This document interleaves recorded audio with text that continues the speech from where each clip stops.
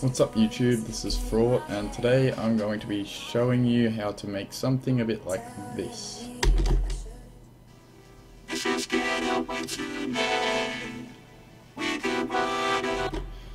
So basically it is a vocoded vocal and this is using Vocodex which uh, those of you who have FL Studio will know that it comes with.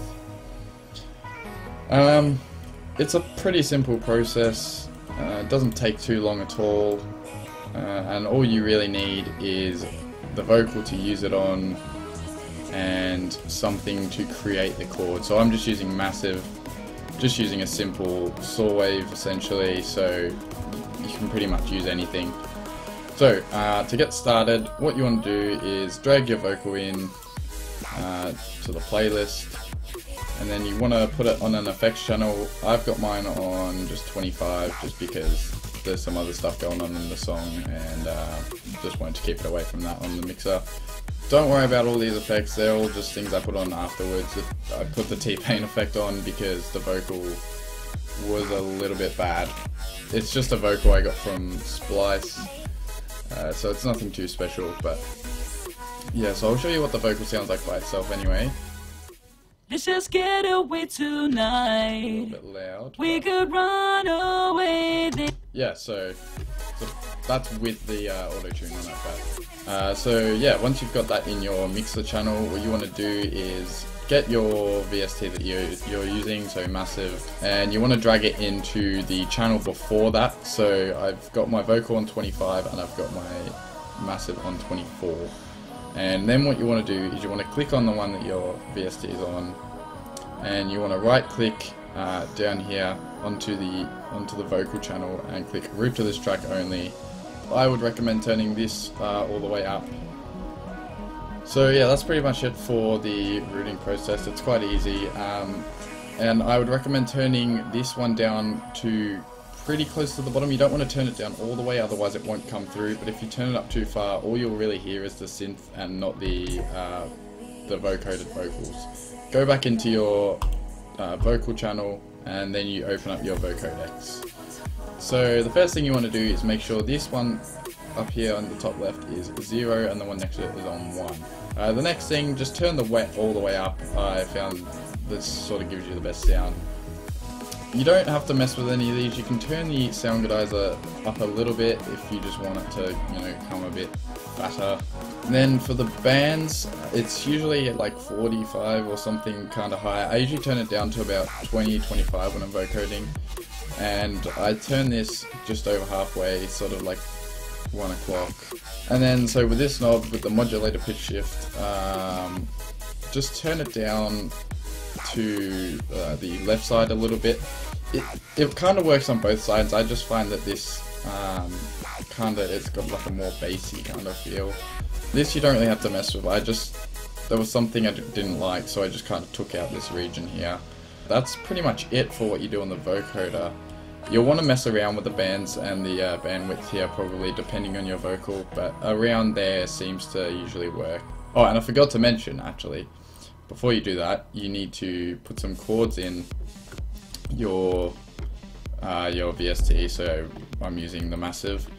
Make some chords that you want uh, the vocoder to basically play. So I've just got this at the moment. If I turn this back up, you'll be able to hear it. So it's not the cleanest, but so just those chords going on. Um, so once you've done that, paste that pattern in with the vocal and you should be able to hear a vocoded vocal.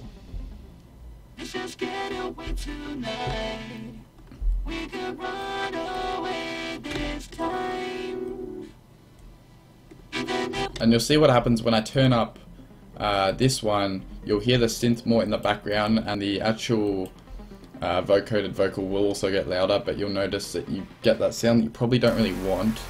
So I'll play that. Uh, it's going to get a bit louder, but yeah.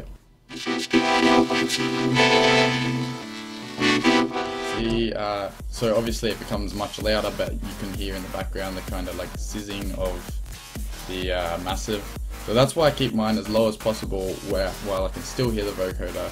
And then what I've done is I just um, chuck, you know, a, a compressor on, which, just um, which just adds that extra volume that you need, that you might need in your vocoded vocal. You might also have noticed that on the right here, I don't have this turned all the way up. Now what that does is, instead of just playing only the vocoded vocal, you can also hear the original vocal in the background a bit. So if you're going for just the vocoded vocal without the original one at all, then turn this all the way up, which will sound kind of like this. So you can't really hear the original anymore. But once you uh, turn it down a little bit, it sounds uh, a bit more like this. Let's just get away tonight. So you can actually hear the original uh, and then the vocoded ones in the background. I find that actually creates a really nice effect because you can still understand what's going on. You can still hear what the vocal is saying. It sounds really cool if you chuck it in the same like chord progression as another sound. So I just got this like kind of synth underneath it, um, just really low, just just some rides, and you'll hear what it sounds like with the vocal. Let's just get away tonight. We could run away this time. Even if we lose our minds. So yeah, that's a basic tutorial on how to vocode vocals pretty easily using the vocoder and obviously there is heaps of space to mess around with this. Uh, in the vocoder itself you can change the sound just immensely. There's a whole lot you can mess around with. Um, you know, you could start adding effects like flanger and that kind of stuff and you'd probably get some really really cool vocoder effects. But this is kind of the most basic kind of way, in my opinion, to do it, um, and it creates quite a nice, quite a nice uh, effect in the background, almost something like Daft Punk. So yeah, hopefully you guys found that useful. Don't hesitate to ask any questions in the comments if you get stuck with anything. Let me know if there's anything else that you want to see me uh, make a tutorial of. Uh, yeah, hopefully you guys enjoyed. Don't forget to check out my SoundCloud link. I'll put it in the description, and it should be on my channel, where you can go out, go and check all my music out. Thank you guys. Uh, I'll see you in the next tutorial.